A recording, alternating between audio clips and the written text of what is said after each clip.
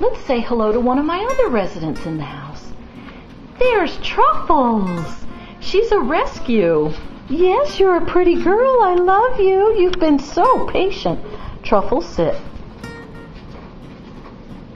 Good girl. Yes.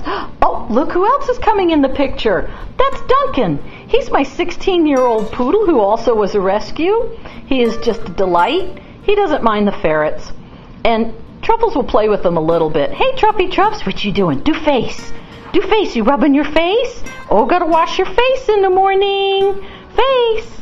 Oh, what a good girl. You washing your face. Yes, you are. You're such a good girl. Can you believe it?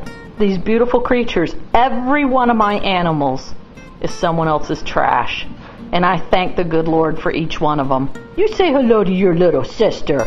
You say hello. That's so sweet. Give her kissy, Duncan.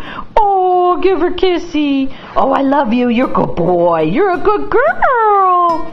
Yes, you good doggies. Are you good doggies? Yes, you are. Oh, I just, I'm so fortunate. Please consider rescues. They are such a gift to us, and they know it. They absolutely know good care and good love because they have already seen the bad.